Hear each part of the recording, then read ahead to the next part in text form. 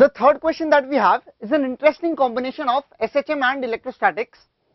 We have an infinite wire of linear charge density lambda and there's a unit, there's a mass over here of mass m, uh, there's a particle over here of mass m and charge q which is in equilibrium at this point.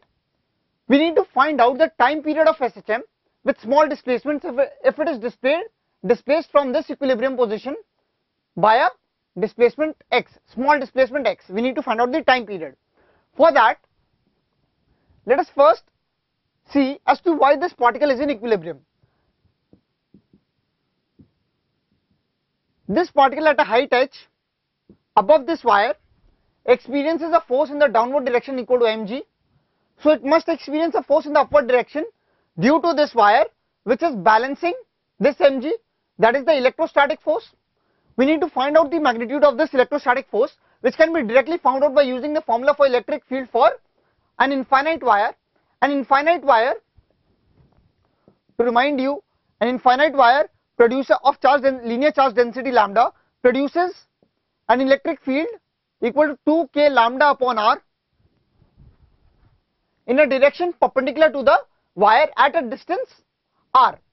So, by using you must remember this formula. So, if we use this formula we get the electric force EL to be equal to 2k lambda upon h into the charge that is q. So what we get is that mg is equal to 2k lambda upon h into q. Let us remember this relation.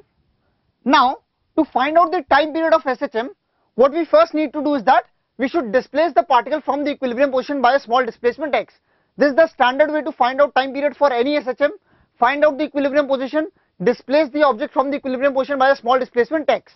So, let us do that. This particle, let it come to this point, let it come to this height.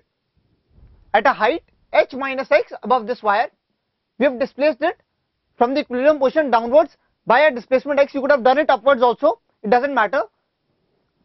So, we now need to find out the restoring force. The restoring force is the net force which will take this object towards back towards the equilibrium position. This was the initial equilibrium position. So the net force taking the object back towards the equilibrium position is 2k lambda upon h minus x. This is the electric field at this point into q minus mg because this is the electric force acting in the upward direction and the gravitational force acting in the downward direction. So the net force in the upward direction is EL minus mg that is 2k lambda upon h minus 6 into q minus mg. Now this mg can be written as 2k lambda q upon h from here minus 2k lambda q upon h taking 2k lambda q common we get f restoring is equal to 2k lambda q 1 upon h minus x minus 1 upon h that is equal to 2k lambda q into x upon h into h minus x. Now as we have assumed the displacement x to be very small as compared to h therefore this can be neglected in comparison to h. You must always remember that you can neglect quantities when they are in addition or subtraction you cannot neglect small quantities in multiplication right. So since this is subtraction we can neglect x over here. So we get the restoring force to be equal to 2k lambda q into x upon h square. Now here we get it. The f restoring is directly proportional to x. This is what we wanted to prove SHM that f is equal to should be equal to k into x. Now actually for SHM f is equal to minus kx is the required formula but I have already considered the sign when I have written f restoring because f restoring is the force towards the equilibrium position. Ethically speaking you should have also tried this out for displacement above the equilibrium position but you will check it out that this for this case also the restoring force will be in this direction. This negative sign is to just check the direction.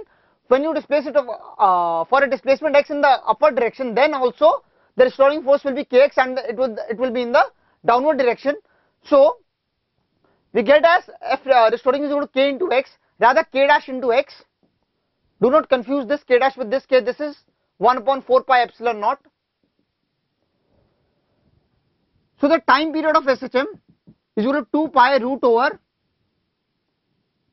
mass upon the constant that comes in front of x that is 2k lambda q upon h square.